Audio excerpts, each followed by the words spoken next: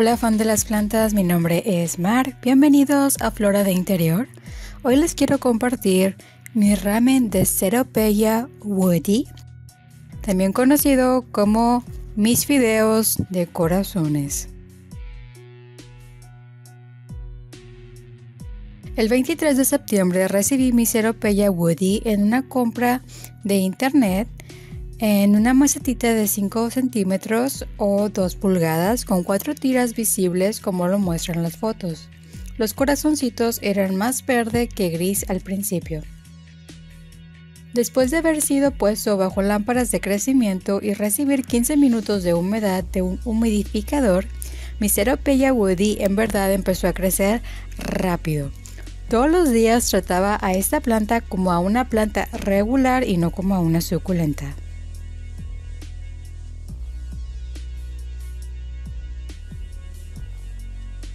Al día 19, después de recibir mi planta, podía ver que algunas de las raíces ya se estaban saliendo de la macetita, así que decidí que ya era el momento de trasplantar a esta chica, pero también quería que la nueva maceta se viera más llena, así que propagué la planta.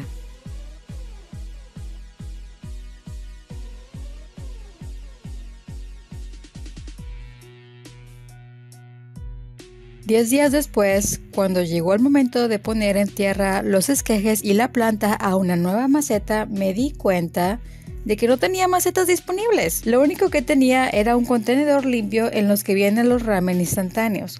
La verdad no le di mucha importancia y puse la planta y los esquejes en este contenedor pensando que solo sería temporal hasta que me comprara nuevas macetas. Sin embargo, después de unos días de ver mi Ceropegia Woody creciendo en el contenedor de ramen, me di cuenta que las tiras de corazones se veían como fideos.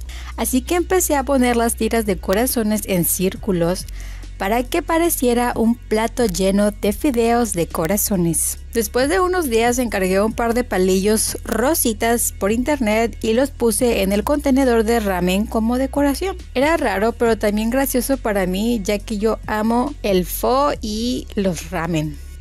Para el tercer mes mi ramen de cero Peya Woody ya estaba listo y bien cocinado, tanto así que los fideos de corazones se le salían por los lados del plato.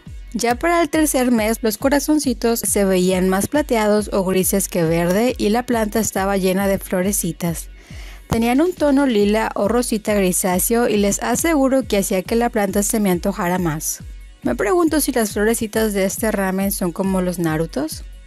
En verdad disfruté crecer mi Ceropeia Woody como ramen de corazones por un tiempo, cuando pensé que el contenedor solo era una solución temporal. Pero la verdad terminé enamorándome de los fideos de corazones. Ramen y plantas, ¿qué más puedo pedir? Quiero agradecer a mis lámparas de crecimiento y a mi humidificador por haberme acompañado en este proceso. No lo hubiera logrado sin ustedes.